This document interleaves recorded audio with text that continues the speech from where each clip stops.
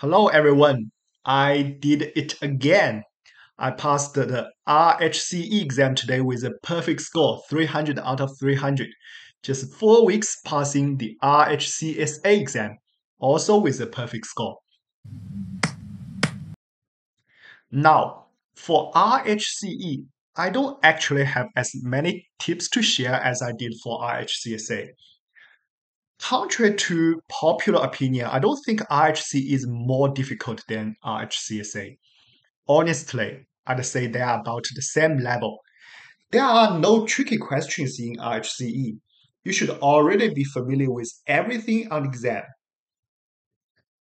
The exam is 4 hours long with 17 questions.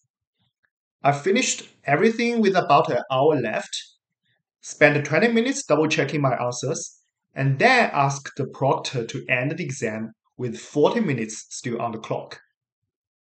Okay, now here is the most important tip to pass the exam. You must install Ansible Navigator. The instruction clearly say your playbooks will be graded with Ansible Navigator, not Ansible Playbook.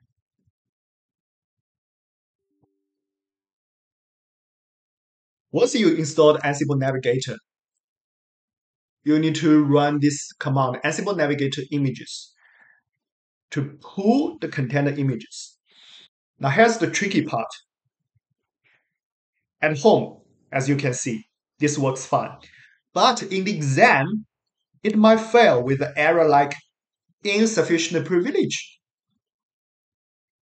Seeing that message, you might be tempted to escalate to root and rerun the command.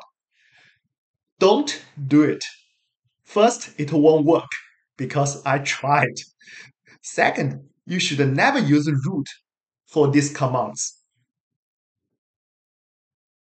The correct fix is use podman login with the registry URL and the credentials provided on the exam instruction page.